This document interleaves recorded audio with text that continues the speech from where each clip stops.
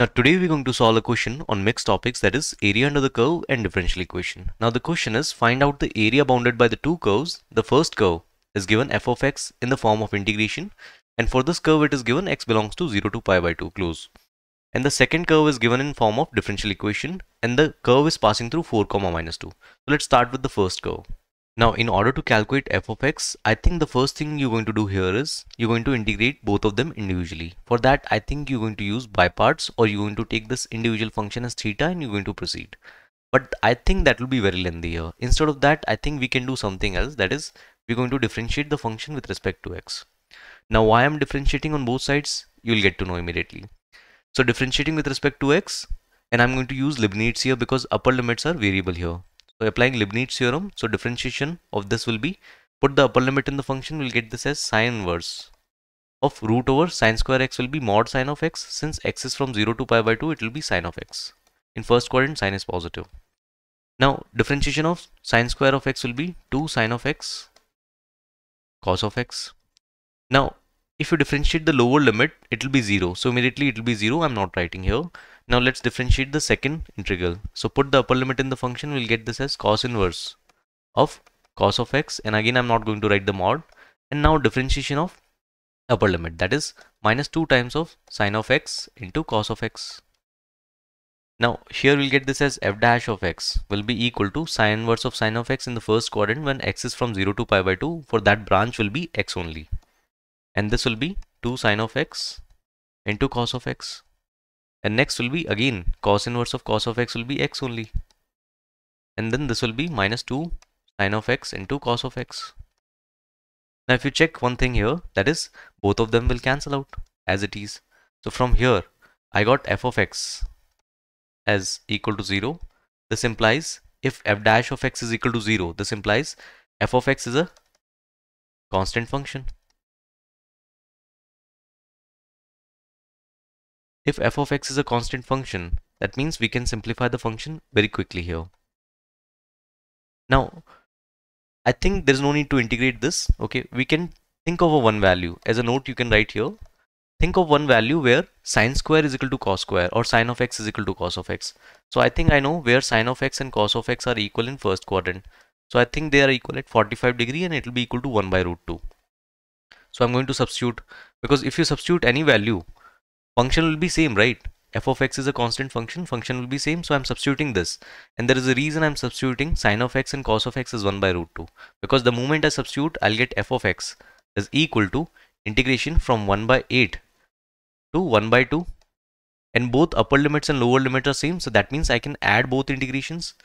We'll here we'll get this as sine inverse of root over t plus cos inverse of root over t dt. So that's why that's the reason I've add I've taken sine of x and cos of x as 1 by root 2 because I can add these two integrals. The moment I add this sine inverse of theta plus cos inverse of theta will be pi by 2 and I can write f of x as integration 1 by 8 one second. Integration 1 by 8 to 1 by 2 this is pi by 2 and dt here. So this will be pi by 2 multiplied by difference of limit is 1 by 2 minus 1 by 8 so I think we'll get this as 3 pi by 16 here. So from here we got f of x as 3 pi by 16, a constant function. Now let's solve the second function. Now for the second curve we have to solve the differential equation and the curve is passing through 4 comma minus 2. Now there are many methods to solve a particular differential equation but the best one which I like is I try to form exact differential whenever I can. So here only we will try to make a differential equation if possible. So let's open this. We'll get this as xy into d of x plus y raised to power 4 into d of x is equal to, we'll get this as xy cube dy minus x square dy. So from the first term and the last term, I think if I take this on the other side, and if I take x common here, so I can see here we'll get this as y d of x plus x dy and now this is the exact differential this is product rule is written right? So this is the exact differential of xy is written. Now let's take this term on the other side. So we'll get this as this term on the other side. And we'll get this as xy cube dy minus y raised to power 4 d of x here. So this is nothing but x into exact differential of xy now we are here we have to form exact differential if if it is possible here so from here from these two I, th I think if I take x square into y cube if I take common the remaining will be here remaining is y by x dy here and here remaining will be y by x square I think and here there's no y sorry. So 1 by x dy minus y by x square here d of x. Now this is x times of d of xy and it is equal to x square y cube and here if you take the LCM here we'll get x square here. And here we'll get this as x dy minus y dx here. Now I think it's a quotient rule is written here and it's clearly visible here. Now I'm going to write this as d of xy. Now I need the term xy in order to integrate this. So I'm going to write this as xy whole square here. And that xy whole square I've taken from this term and here remaining is y and remaining is x on the left hand side. So I'm going to write this as y by x and this is exact differential of y by x you can see here. Now I'm going to integrate on both sides. So integrating on both sides we'll get constant of integration also. So let's integrate on both sides.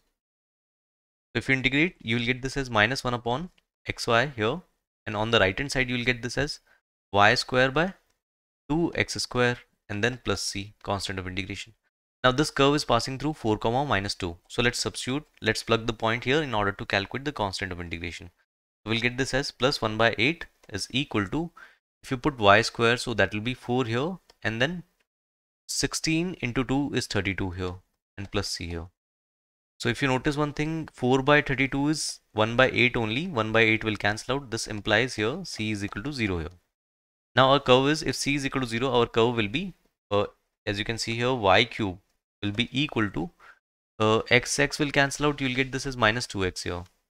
So our function is g of x I can say because already f of x I have taken so I'm taking this as g of x you can say cube root of minus 2x. This is our function. Now after finding first two functions I'm going to calculate the area here. Now I'm going to calculate the area between f of x and g of x. So first we're going to draw f of x and g of x because we'll get more clarity here.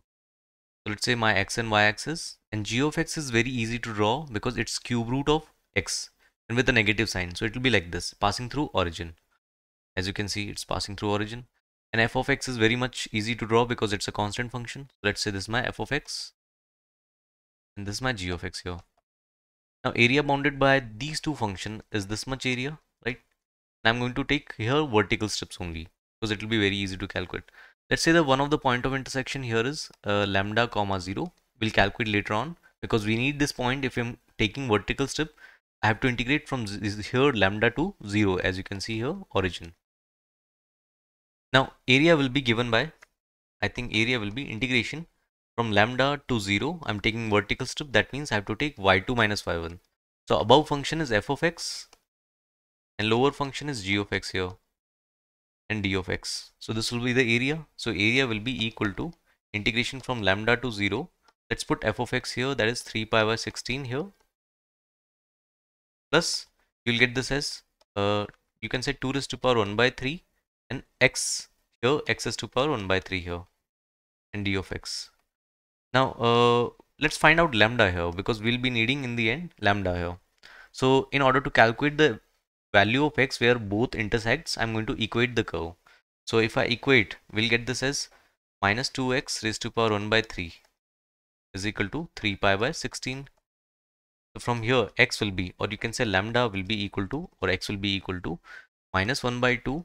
You can say here 3 pi by 16 whole cube. So this will be the value of lambda. Now let's proceed with the area.